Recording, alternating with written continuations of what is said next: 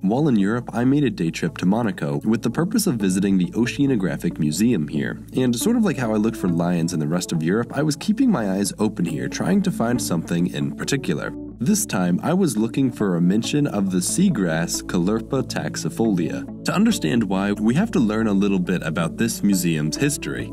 Built over a hundred years ago, this is where people like Jacques Cousteau, the famous researcher, explorer, and documentary filmmaker, came to work. The goal of this place, like any museum, was for people to come and learn, the desired outcome of which being hopefully creating a desire to help conserve and protect the animals and environment featured and explored here. Now, while all that's good and fair, thousands of miles away in the Indian Ocean, there lived a seagrass, C. taxifolia. Here, in the plant's native range, it's just another member of the community and is kept in check naturally. But if we look at some of the grass's more notable characteristics, you might be able to see why I bring it up. To start, we can see that it has a high risk of forming a monoculture, or basically, it forms large tarps which cover everything else. It also prefers a high salinity, which makes it adaptable to most ocean environments, and especially seas, where salt concentrations can be much higher than oceanic averages. And it makes it onto several noxious weed lists, indicating that it produces toxic chemicals. Looking further down, we can see that it reproduces asexually, specifically through fragmentation. What this means is that if you try to remove it by cutting it up, each new fragment can grow into a whole new plant. Or in short, it's impossible to remove. To make things better, over recent years it has gained a tolerance to cold waters. I'll explain how that happened in a second, but what this does is expand the grass's potential range into areas which, until recently, it could not survive. Now, I know what you must be thinking is this aquatic seagrass from the Indian Ocean, Wisconsin adapted? And luckily, no, it's not. But due to its production of toxins in its leaves, the plant has no serious predators and has no real documented control mechanisms. To compete, Caulerpa grows fast, uses resources efficiently, smothers out any competitors, and can outsurvive many species if resources become limited. To make things better, its rate of spread is indicated as high. What all of this results in is a seagrass that can outcompete native seaweeds and seagrasses. And it's for this reason that the seagrass is said to be causing a major ecological event in the Mediterranean, which leads to overall decrease in biodiversity. What this means for the environment is the eventual displacement of the native species. What this means for humans is poor fishing and reduced tourism, or essentially less food and less money for the people living near the coast. Now, all these factors together make a pretty scary plant, which is why even places like the Wisconsin Department of Natural Resources are writing about it. But the reason I brought up this little seagrass when talking about the Oceanographic Museum of Monaco is due to its most dangerous quality by far. People like the way it looks. I can't really pretend to understand this, but I guess there's something about the way it looks that make people go, yep, that's a plant. And for that reason, it was brought from the Indian Ocean here to Europe to be used in aquarium displays. Things were fine until 1980 when the Wilhelma Zoo of Stuttgart, Germany, through artificial selection, produced a cold tolerant strain of this grass. Because warming enormous tubs can cost enormous amounts of money, aquariums tend to keep their waters cooler. And now that C. taxifolia could handle the cold, it became an ideal seagrass for nearly every aquarium exhibit, even ones that didn't involve species from the Indian Ocean. Soon enough, the little cold tolerant seagrass expanded into many more aquarium displays across Europe, including into the Oceanographic Museum of Monaco. Only four years after this cold tolerant strain was produced and shared across the continent, a small patch of the seagrass was found growing in the Mediterranean. Or, more specifically, a small patch of this grass was found growing in the waters directly surrounding the Oceanographic Museum of Monaco. Now, the museum claims that this patch growing here was coincidental and a result of ocean currents, but if you'll remember, natural specimens of C. taxifolia aren't adapted to the colder Mediterranean waters, and therefore, even if the ocean did bring a wild specimen here, it would not survive. So, this patch must have come from a sample of the artificially produced cold tolerant strain found in many museums and aquariums. This, combined with the fact that the first time C. taxifolia had ever been recorded growing in the Mediterranean, it was literally right next to the Oceanographic Museum made it clear that this seagrass must have come from within the aquariums of the museum. The most popular theory about how this could have happened has to do with the way the plant reproduces. If you'll remember, C. taxifolia reproduces asexually, specifically through fragmentation. And in fact, just a single piece as small as a centimeter is all that's needed to start an entirely new plant.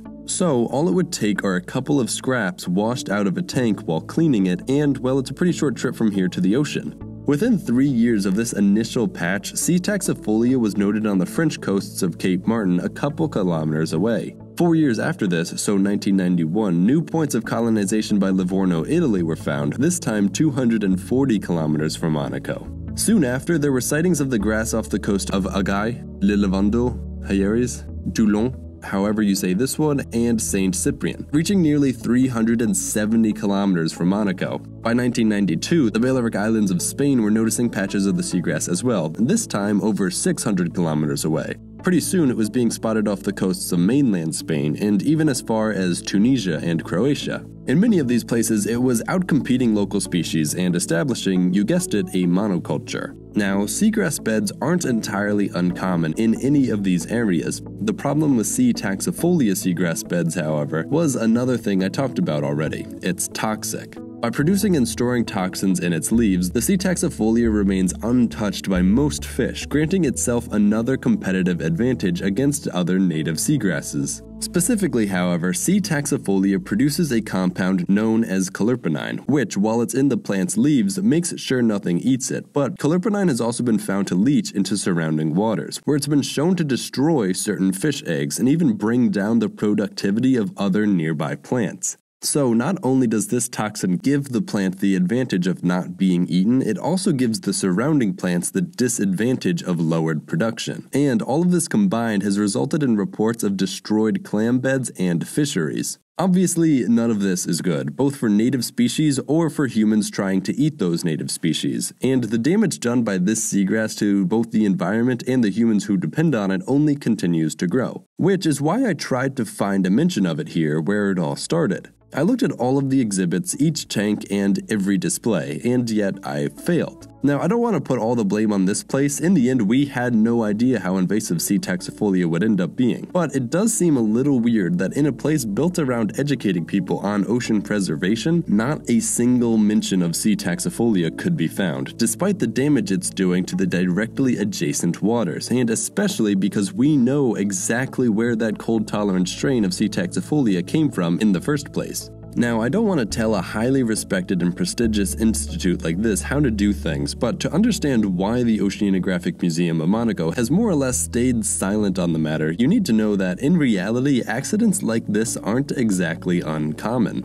Another similar example is what's called the chestnut blight. The blight originally comes from Japan, where the Japanese chestnut trees had developed a degree of immunity. But when the Bronx Zoo in New York City brought over some of these Japanese trees, foresters of the zoo began to notice the American chestnut trees in the park had little to no defenses against the blight carried on the imported trees, and as a result became infected and, well, died. From here, the blight spread rapidly across the east coast of the United States, driving the American chestnut tree into near extinction and killing an estimated 4 billion trees. Sadly, these aren't the only two examples of this happening, but they are possibly the most revealing on the tricky nature of conservation, where even places built to celebrate the natural world can have serious and direct negative impacts on said natural world. From these escape events, we can learn two valuable lessons. First, sometimes even trying to help can be hurtful, because more often than not, the best way to conserve is to leave species where they evolved, even if that means we don't get as many cool things in our zoos and aquariums.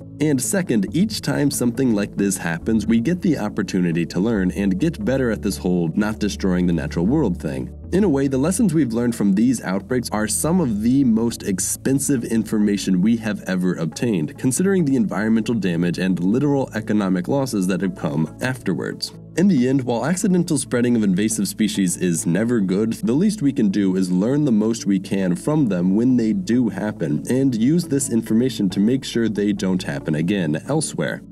I hope you enjoyed the video, and if you did, I hope you'd consider going to my Patreon like all of these people going by on screen. It really helps me out and makes trips like this possible. Of course, subscribe if you'd like to see more videos. I think I'm done talking about Europe for a while, so hopefully next week I'll be back with more regular video topics. So stay tuned and thanks for watching.